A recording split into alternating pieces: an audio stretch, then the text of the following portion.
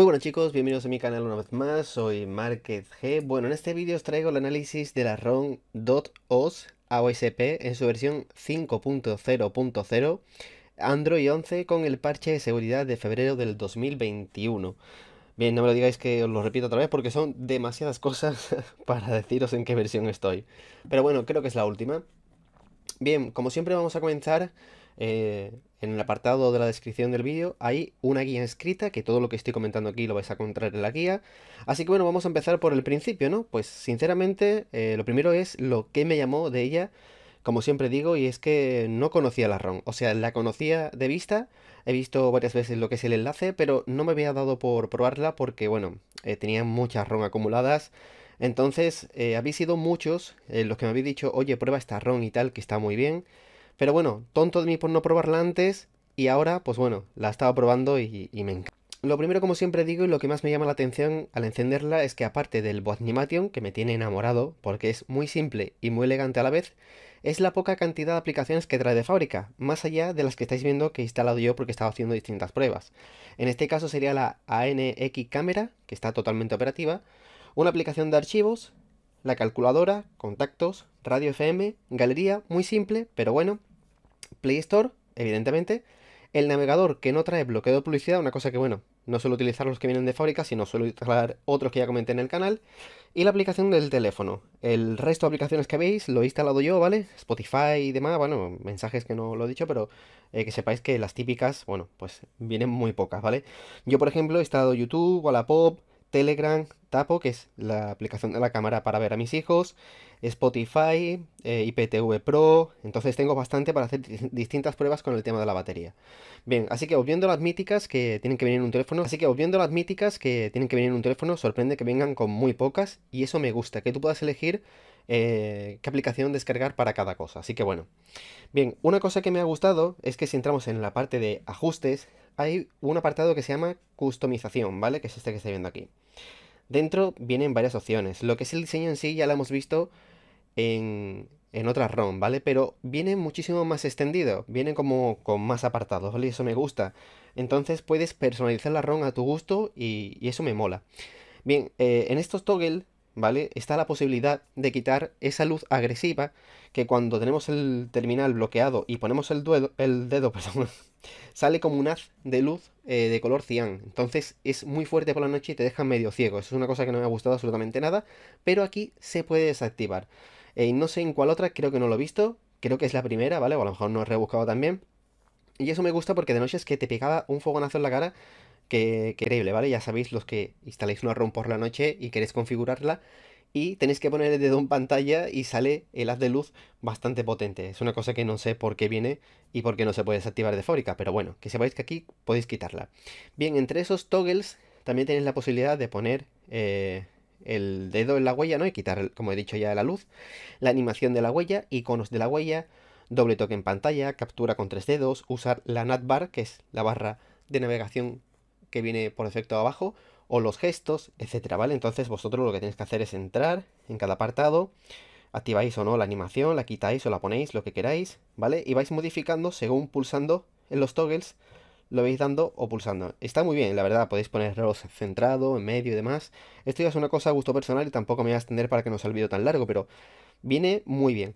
No es tan agresiva la personalización en el sentido de que viene tantas cosas que te abruma, Sí que es verdad que viene en inglés, que es un fallito, entre comillas, por así decirlo, aunque ya, entre comillas, por así decirlo, aunque ya de, de, instalar tanta ROM, pues ya te suenan las palabras, pero bueno, ahí está.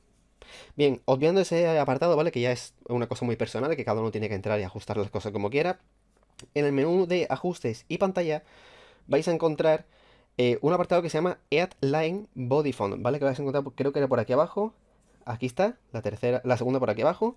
Le damos y vienen unas fuentes predeterminadas, eh, la cual eh, sorprende, ¿vale? Porque hay algunas que no las he visto, como por ejemplo la Arbutus Slab, Barlow, o ya viene la del OnePlus. Es una cosa que, bueno, que sepáis que está ahí, a los que ajusten la ROM de OnePlus o incluso la fuente, que no hace falta que instaléis Magix para poder cambiar de fuente, sino que es todo instantáneo y eso mola, ¿vale? Entonces es una cosa, una tontería que a mí me ha gustado y, que bueno, que está ahí. Bien, también tenemos sonidos, ¿vale? Que ya hemos visto en anteriores ROM analizadas que lo tenemos en el apartado, estaba por aquí, se me quedó un sistema, efecto de la cámara frontal, efectos de sonido, efectos de sonido y tenemos eh, los sonidos de Star Wars, ¿vale? Eh, la marcha imperial, el sable láser o la sala del trono, ¿vale? Son tres canciones míticas de la saga de Star Wars que sepáis que vienen, ¿vale? Para que le guste, pues bueno, que sepáis que está ahí. Otra cosa a la hora de personalizar es que si dejamos pulsado el botón de Power durante un cierto tiempo, ¿vale? Tenemos eh, la aplicación Pay, la tenemos aquí en medio para poder configurar una tarjeta de crédito y poder pagar a través del chip NFC de nuestro terminal en cualquier establecimiento pasando el terminal por encima del datáfono, ¿vale? Tenemos lo que es la tarjeta configurada, dejamos pulsar el botón, pasamos y pagamos, ¿vale? Muy sencillo, no lo he comentado en otros vídeos, es una cosa que, bueno, no sé por qué no lo he comentado, pero que sepáis que tenéis la posibilidad.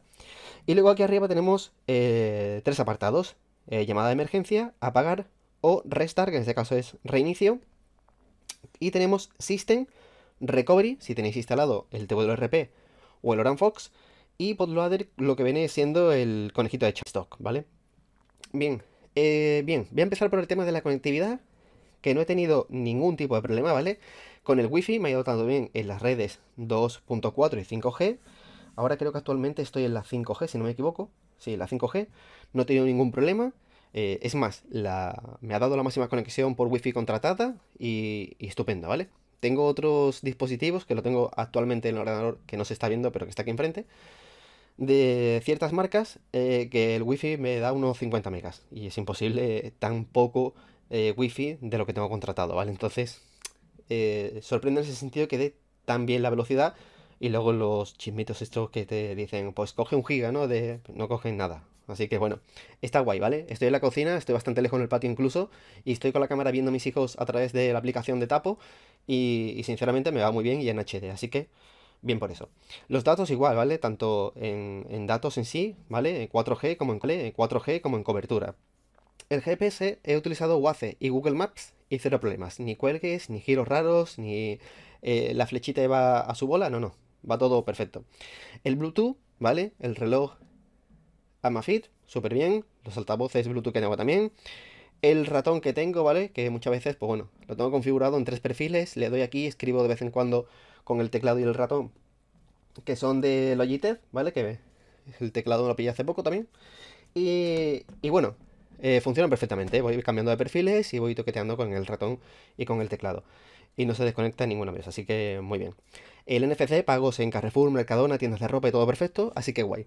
Bien, eh, lo que sigue en el contenido streaming, he tenido un problema, que sale la guía, ¿vale? Y veis las capturas ahí. Y es que cuando me voy a Google Play y pongo Netflix, que ya veréis aquí, no me sale la aplicación.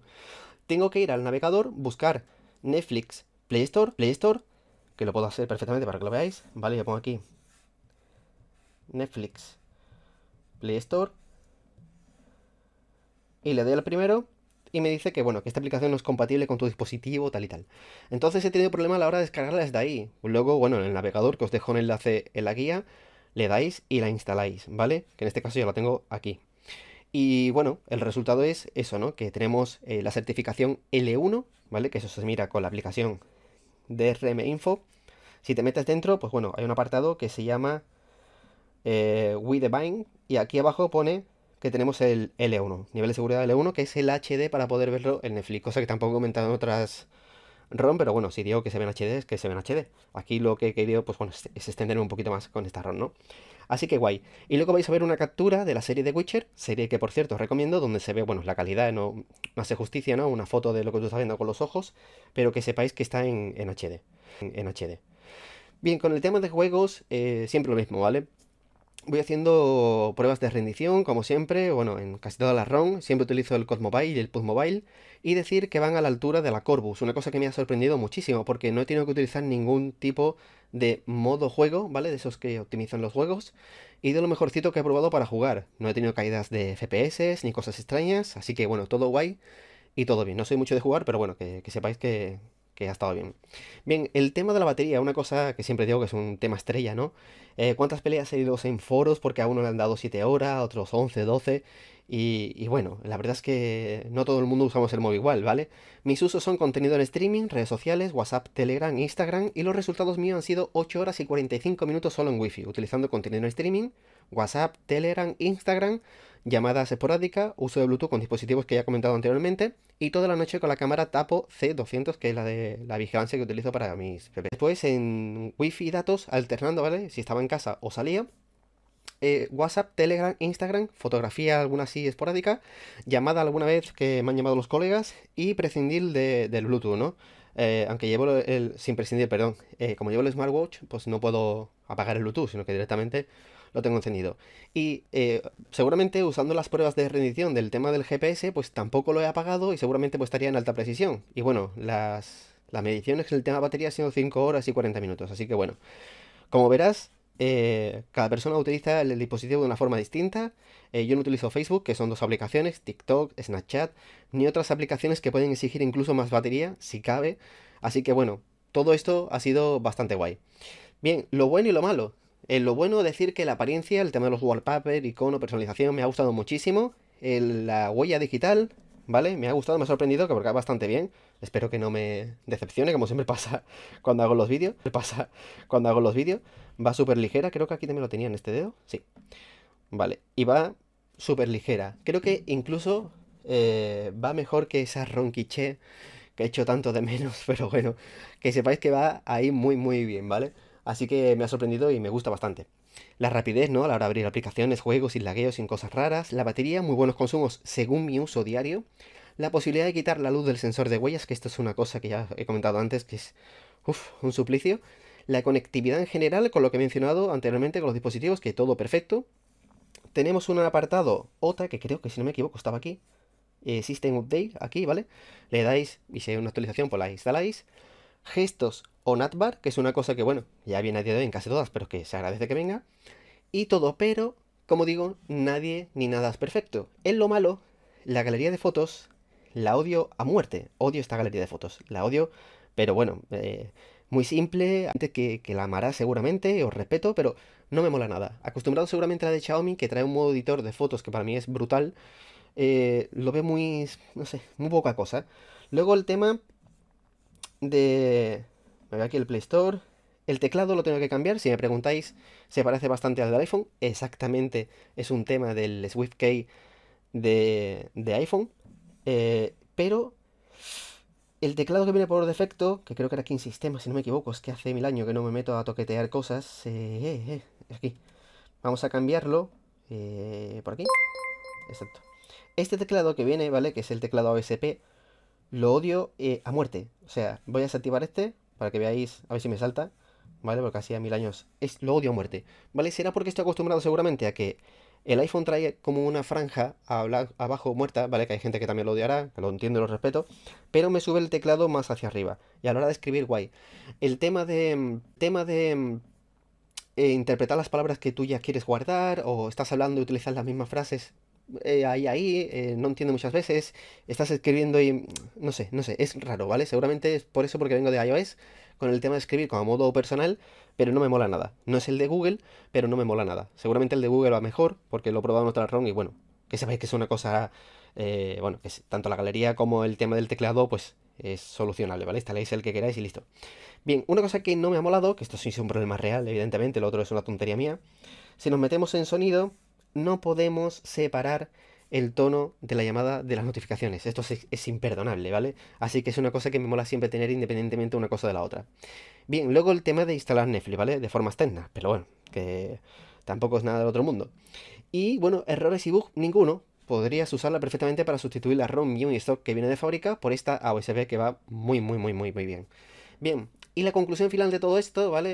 Es ¿Qué conclusión sacó? Es una ROM que, bueno, tenía pendiente y gracias a la insistencia de vosotros ha hecho que descubra cuál será la ROM definitiva en mi terminal cuando quiera estar en una ROM AOSP y que la recomiendo a todo el mundo, ¿vale? Dios tenga, ya os digo, en su gloria, la fallecida AOSP Quiche, que era mi favorita por aquel entonces, que era simple, básica, la web iba bien, iba todo bien, pero bueno, el proyecto murió, creo que murió, y bueno, pues lo tenemos que dejar de lado. Pero si quieres alejarte de MIUI, porque no te gusta y quieres, bueno, de lo mejor que ha pasado por mis manos en cuanto a ROM a OSP, sin duda, esta es tu ROM, ¿vale? No, no tengas dudas. Bien, como información adicional, en la guía os dejo los soportes de la ROM, los grupos oficiales que salen en su hilo de XDA, que es el grupo de Telegram, el canal de Telegram y el canal de soporte de, los dispositivos que están utilizando esta ROM, ¿vale? Y bueno, el hilo de XDA para que veáis si queréis bichear un poco. Así que bueno, estas han sido mis conclusiones en estos días que he estado probándolo. La verdad es que me ha gustado bastante, diría que es la mejor AOSP que he probado. Eh, y la mejor AOSP que he probado. Eh, y mira que he probado, ¿vale? Así que bueno, saco la conclusión de que guay. Eh, yo seguramente me meteré en algún grupo de estos de .os y, y, les diré que bueno, que pasa esto con Netflix, aunque ya creo que en la lupa me ha salido que alguien tenía problemas y pasaban en la peca de forma externa, pero a ver si se puede solucionar esto y por mí sería, bueno, brutal, es perfecta. Eh, ya os digo, Android 11 va todo muy bien, eh, no he tenido ningún tipo de problema. Y bueno, pues una ROM que os recomiendo muchísimo. Eh, os doy las gracias a todos por darme el feedback de, oye, pruébala tal y cual y, y que te va a molar muchísimo. Y bueno, sin duda me ha gustado muchísimo más que la Blitz ROM, la Corbus. Y esta a día de hoy es la ROM que voy a recomendar si quieres una ROM AOSP. Así que nada, eh, si queréis esperaros un par de días para que suba la instalación, pues bueno, guay. Y si no, pues vais a salir lo de XDA y lo probáis por vosotros mismos. Aunque no creo que tarde mucho en subirlo eh, porque es bastante sencilla la forma de, de instalar la ROM. Así que nada, chicos, simplemente eso. Espero que os haya gustado el vídeo. Un saludo y nos